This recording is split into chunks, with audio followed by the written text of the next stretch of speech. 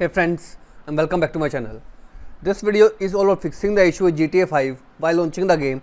You got an error of GTA 5 launcher.exe entry file not found with any type of Steam app or any kind of dynamic link library file is missing or not located. So without wasting time, let's go ahead and directly proceed with the resolution. First of all, in the basic step, you need to open up Windows Security. Then from the left pane, click on the option Protection History and right over here, all the block files will be shown right over here.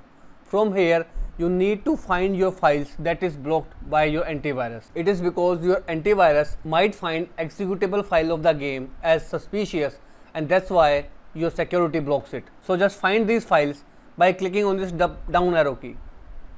As soon as you click on the down arrow key, you will find the file path like you can see right over here. The ones who make sure that the file path is related to GTA 5, you need to unblock this file and to unblock you need to click on the action tab and you will find the option of allow on device.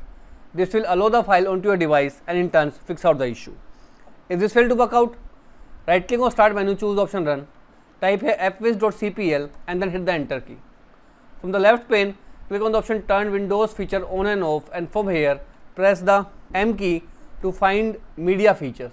Expand it and make sure you check mark this particular option and then hit the OK button. This will go ahead and install the media feature pack and hopefully resolve out the issue.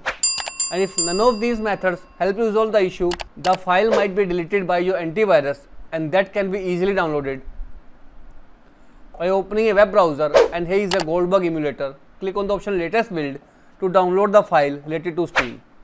Save it onto your desktop.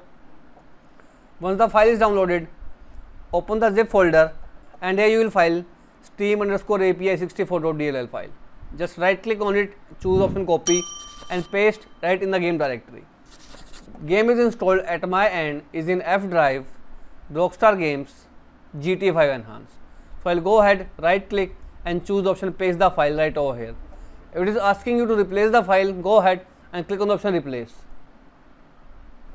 Once the file is pasted, go ahead and relaunch the game and hopefully the issue of entry point not found will be completely fixed with GTA 5. So that's all about it friends. If this video works out for you, I request you to please click on subscribe button and turn on the bell notification icon to continue receiving updates from my channel. Thank you so much friends. Thank you for watching.